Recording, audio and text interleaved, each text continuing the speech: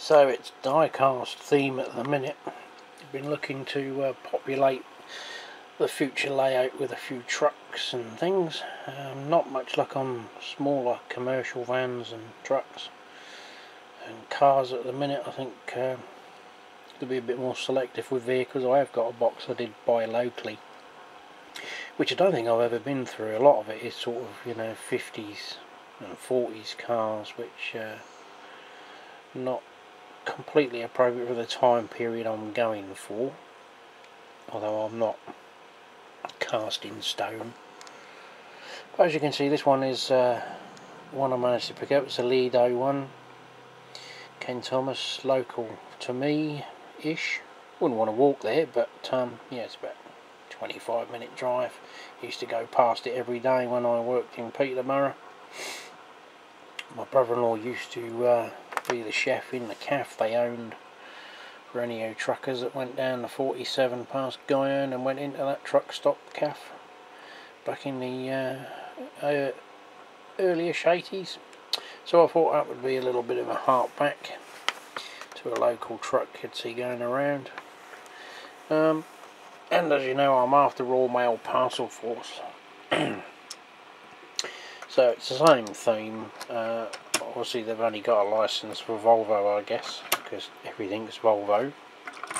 So we got a parcel force truck from, that was from one seller, these four here were from another one. He did have another couple but um, I didn't really fancy the other ones but they were 4.99 and for some reason that one was 3.99 but some people are asking £10 for that one but obviously they ain't selling them so we went for a parcel force one.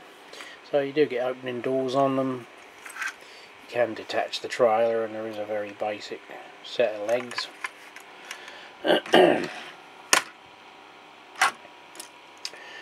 and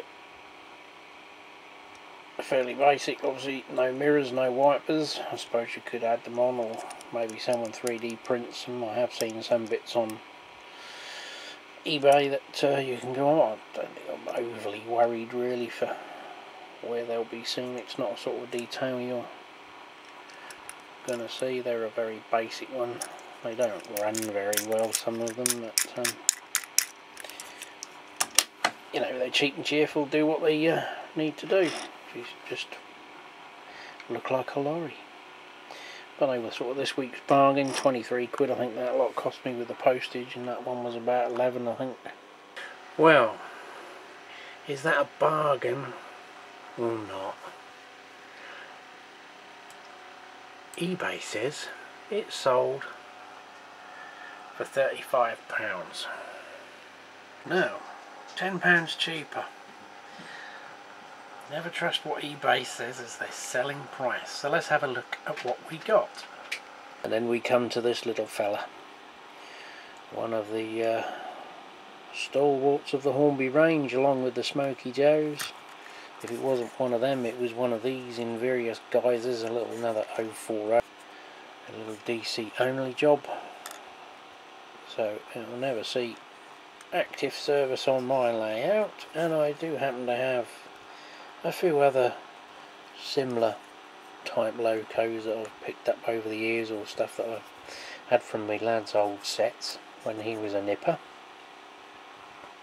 But talking of nippers, I received this from Amazon a few months ago.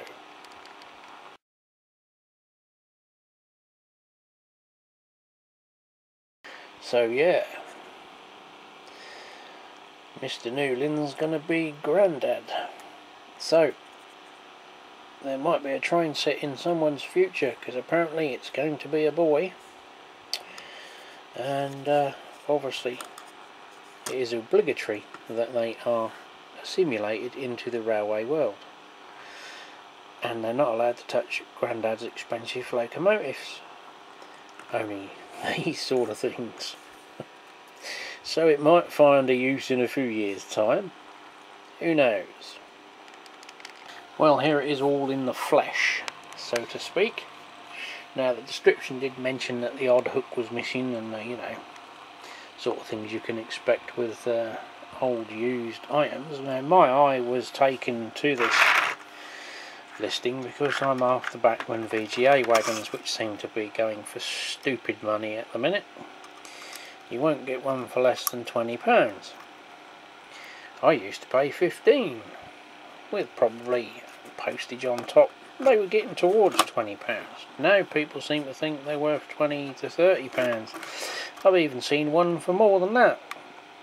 I do have a boxed EWS version if anyone wants to swap it for a rail freight version it is boxed in mint condition and obviously EWS didn't exist in my time frame so I guess you could say that in its own entirety is worth 15 20 pounds of the 25 pounds I paid for the entire lot. And it's all intact.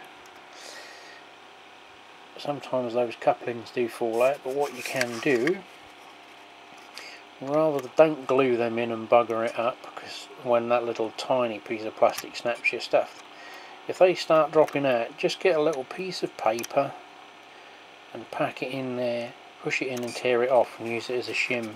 Just gives it a little bit more friction to hold in. And if it does snap you can still get it out with a pair of pliers. But they're a nice little weighty. This is looking like the weathered version. So that was sort of my prime target with this job lot, but obviously too much money for that. So luckily as I'm modelling two time periods, you know, these are a fiver a pop normally, four or five pounds. Um, they've put a fair bit of, instead of, I don't think they've put a false bottom in this and then they've filled the whole thing up and then glue because it weighs a ton. So I'll probably have to soak that in water and um, scrape that all out. But I think this one has got one hook? No it's got one buffer missing. I've got loads of cast ones ready to uh, retrofit did find one of the axle slightly worn and there is a little bit they do tend to stick out on these model variants that Hornby done so I might want another axle in there because it is worn away.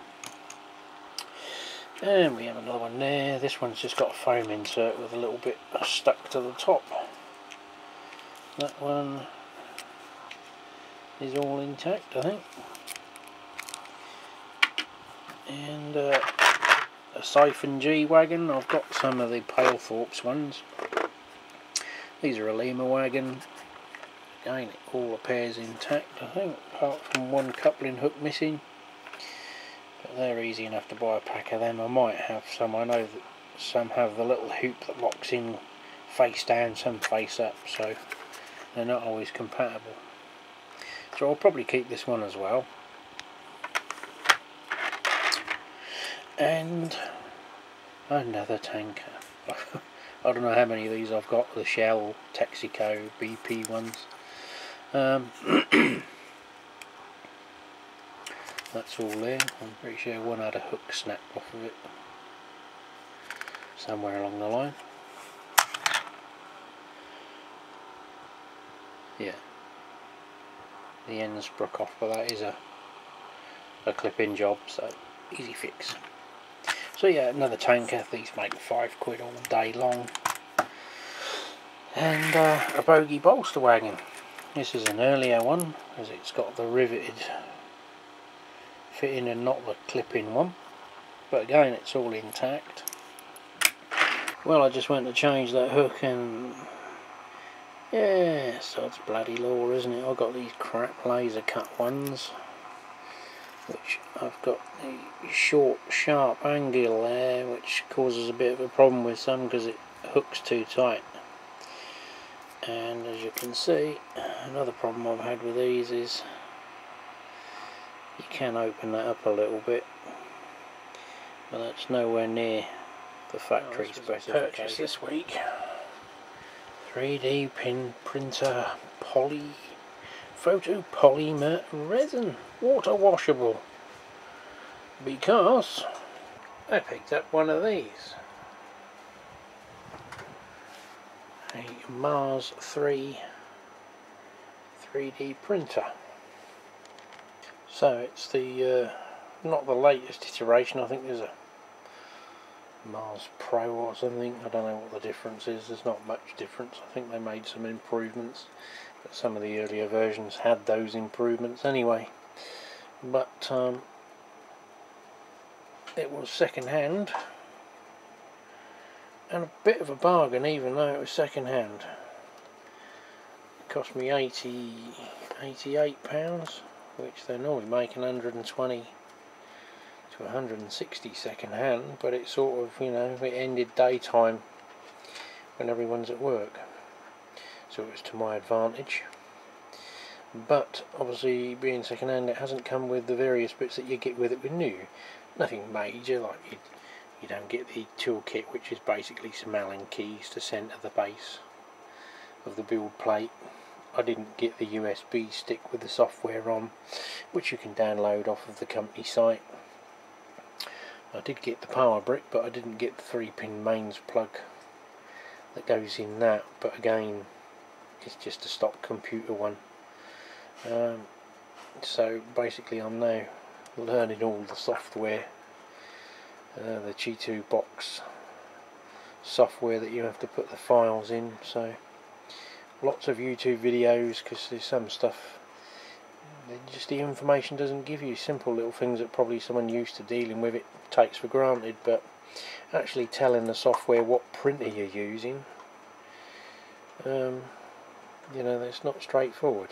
Well it probably is to some people but you know it doesn't you know you don't hover over the mouse and it tells you what it is. It's another one of these programs where it's more based on symbols and you're supposed to guess what the bloody hell they are.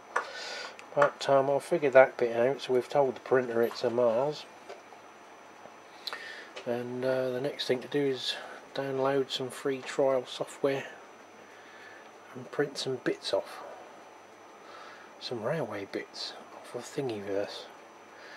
So it'll be a bit of trial and error. So I bought the washable version of the um, photo resin simply because obviously I'm not geared up with a cleaning tank and bits and pieces with isopro isopropyl alcohol although I have got some down the back there but that was bought for um, cleaning